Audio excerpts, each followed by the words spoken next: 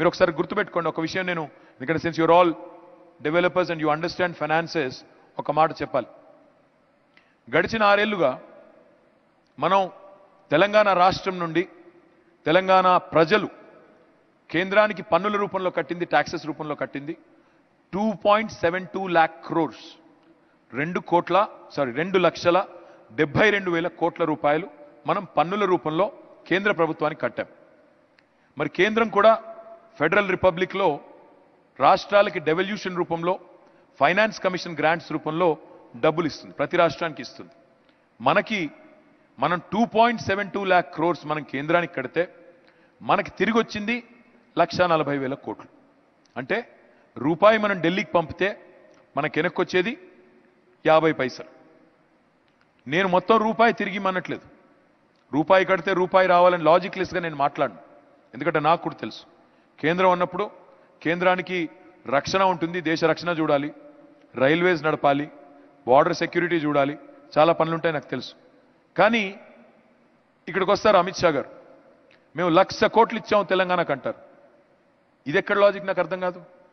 మాకు రాజ్యాంగబద్ధంగా చట్టబద్ధంగా రావాల్సిన దానిలో లక్ష నలభై వేల కోట్లు ఏదైతుందో అది ఇచ్చి అదేదో మెహర్బానీ చేసినట్టు మాకు ఇవ్వకూడదేదో ఇచ్చినట్టు తెలంగాణకు ఏదో చేయకూడని సాయం ఏదో చేసినట్టు మాట్లాడితే I definitely have an objection to that ఆ మాటకే వస్తే అందుకే నేను నిన్న మొన్న అంటున్నాను అగర్ లేనే దేనే కి బాత్ ఆతీ హై तो किसने किसको क्या दिया तेलंगाना ने दो लाख बहत्तर हजार करोड़ रुपया दिल्ली को दिया आपने वापस कितना दिया एक लाख चालीस हजार तो कौन किसको बाकी है एक लाख तीस हजार करोड़ आज तेलंगाना का पैसा బాకీ రాజ్యం మే ఇస్ దేశ్ మే లగ్ రా హై ఇతర రాష్ట్రాల్లో ఈరోజు మన డబ్బులతో మన పనులతో అక్కడ అభివృద్ధి అవుతుంది. ఆ మాట దాచిపెట్టి నోటికొచ్చినట్టు మాట్లాడడం ఆ మాట దాచిపెట్టి నోటికొచ్చినట్టు విమర్శలు చేయడం మంచిది కాదు అనే ఉద్దేశంతోనే ఈ లెక్క మీరు అర్థం చేసుకుంటారని చెప్తా ఉన్నాం. నేను మీ అందరితో చేసే విజ్ఞప్తల్లా ఒకటి. ఈరోజు ఈ ఆర్గ్యుమెంట్స్ పొలిటికల్ ఆర్గ్యుమెంట్స్ బయట నడుస్తాయి.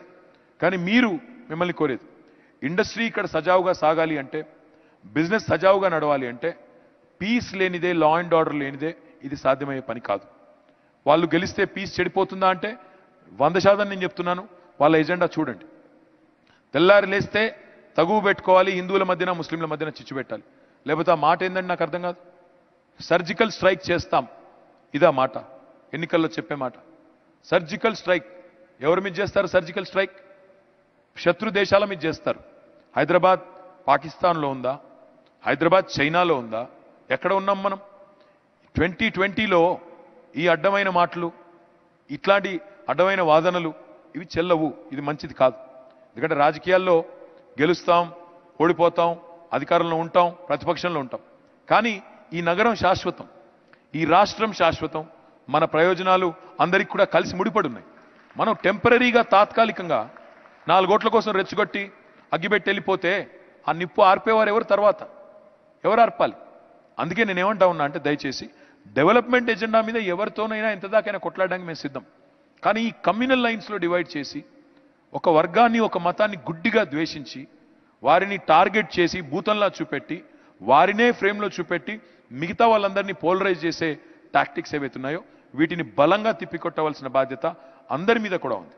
Any sane individual any sane Hyderabadi should reject and I appeal kindly reject this kind of propaganda this kind of politics this kind of posturing because it does not suit our state ఈరోజు ఒక Amazon వచ్చిందని సంబరపడుతున్నాం ఒక Apple వచ్చిందని సంబరపడుతున్నాం ఒక Facebook వచ్చిందని సంబరపడుతున్నాం ఒక Google ఇక్కడ వరల్డ్లో రెండో అతిపెద్ద క్యాంపస్ పెట్టిందని సంబరపడుతున్నాం.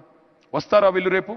హైదరాబాద్లో కర్ఫ్యూలు ఉన్నాయంటే హైదరాబాద్ తల్లడిల్లుతుందంటే వస్తారా వీళ్ళు? ఇంకో ఇన్వెస్టర్ వస్తాడా హైదరాబాద్కి? వద్దురా బాబు వీళ్ళంతా పిచ్చోళ్ళు మతం పేరు మీద కొట్టుకునే పిచ్చోళ్ళు ఇల్లు వీళ్ళతో ఏం పెట్టుకుంటామని చెప్పి ఇంకొక ఆడికి పోతారు.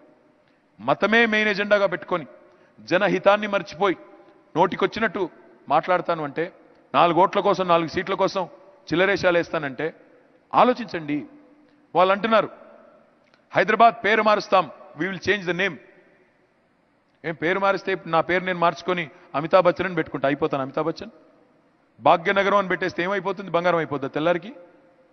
ఆలోచించండి నేమ్ చేంజర్స్ కావాలా? గేమ్ చేంజర్స్ కావాలా? ఆలోచించండి. డిసైసివ్ పాలసీస్ కావాలా? డివైజివ్ పాలిటిక్స్ కావాలా? ఆలోచించండి. తొందరపడకండి. ఆగమాగం అయిపోతున్నారు ఈ మధ్యన. ఆగమాగం అయిపోయి ఎక్కడోళ్ళు అక్కడ కన్ఫ్యూజ్ అయిపోయి వీటితో నడవదు. ఆలోచించండి. పిల్లలకు కూడా చెప్పండి. మనం తెలిసిన పిల్లలకి వాళ్ళు కూడా చెప్పండి. హిందూ ముస్లిం హిందూ ముస్లిం అనగానే టెంప్ట్ అయిపోవడం కాదు. ఉద్వేగాలు ఈజీ రెచ్చగొట్టడం ఎంతసేపు? చాలా చాలా ఈజీ కానీ తెలంగాణ రాష్ట్రం ఏర్పడే వరకు మేము కూడా చాలా వా ఫెరోషియస్గా మాట్లాడాం వాస్తవం. మేము కూడా చాలా ఫెరోషియస్గా తెలంగాణ రాష్ట్రం ఏర్పడాలనే కాంక్షతో చాలా మాట్లాడాం చాలా పరుషంగా మాట్లాడాం.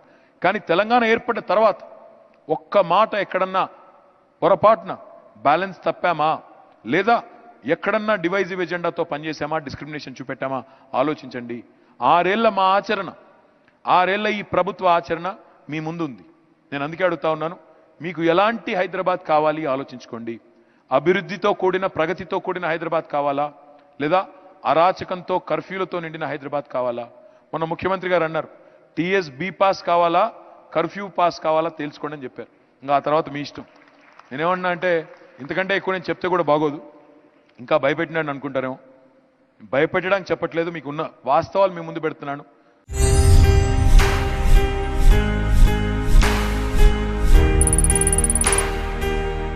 you